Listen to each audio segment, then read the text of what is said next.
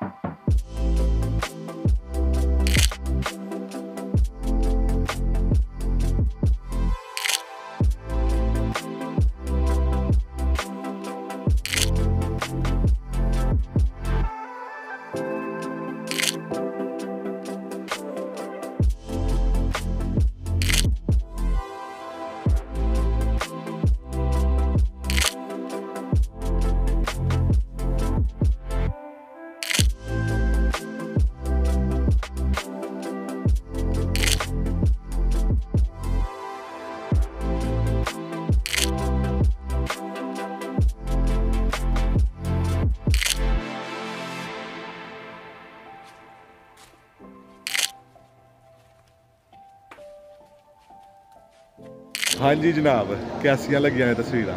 ਉਮੀਦ ਕਰਨਾ ਵਾ ਸਲੂ ਪੰਜਾਬੀ ਫੈਮਿਲੀ ਨੂੰ ਜਨਾਬ ਮੇਰੀਆਂ ਤਸਵੀਰਾਂ ਪਸੰਦ ਆਈਆਂ ਹੋਣਗੀਆਂ। ਬਸ ਜੀ, ਕੋਸ਼ਿਸ਼ ਕਰ ਰਹੇ ਹਾਂ ਕਿ ਫੋਟੋਗ੍ਰਾਫਰ ਵੀ ਬਣੀਏ, ਠੀਕ ਹੈ? ਤੇ ਅਲਹਮਦੁਲਿਲਾ ਬੜੀਆਂ ਜ਼ਬਰਦਸਤ ਬਣ ਰਹੀਆਂ ਨੇ ਤਸਵੀਰਾਂ। ਠੀਕ ਹੈ ਜੀ, ਤੇ ਹੁਣ ਉਹ ਇਨਸ਼ਾਅੱਲਾ ਵੇਖੀ ਚੱਲੋ ਹੁਣ ਸਾਨੂੰ ਪੰਜਾਬੀ ਸਾਹਿਬ ਬੜੀ ਕਿੱਥੇ ਦੇ ਕਿੱਥੇ ਜ਼ਿਆਦਾ ਤੁਹਾਨੂੰ ਤਸਵੀਰਾਂ ਵਿਖਾਉਂਦੇ ਹੁਣ ਦਵੋ ਸਾਨੂੰ ਪੰਜਾਬੀ ਨੂੰ ਇਜਾਜ਼ਤ ਖੁਸ਼ ਰਹੋ, ਹੱਸਦੇ ਵਸਦੇ ਰਹੋ। ਅੱਲਾਹ ਪਾਕ ਤੁਹਾਡੇ ਤੇ ਵੀ ਰਹਿਮਤ ਕਰੇ, ਮੇਰੇ ਤੇ ਵੀ ਰਹਿਮਤ ਕਰੇ। ਪਲੀਜ਼ ਲਾਈਕ ਸ਼ੇਅਰ ਸਬਸਕ੍ਰਾਈਬ ਕਰਨਾ ਨਾ ਭੁੱਲਿਓ, ਤਾਂ ਕਿ ਸਫਰ ਨੂੰ ਹੋਰ ਅੱਗੇ ਲੈ ਕੇ ਜਾ ਸਕਾਂ। ਹੁਣ ਦਵੋ ਸਾਨੂੰ ਪੰਜਾਬੀ ਨੂੰ ਇਜਾਜ਼ਤ ਪਾਕਿਸਤਾਨ ਜ਼ਿੰਦਾਬਾਦ।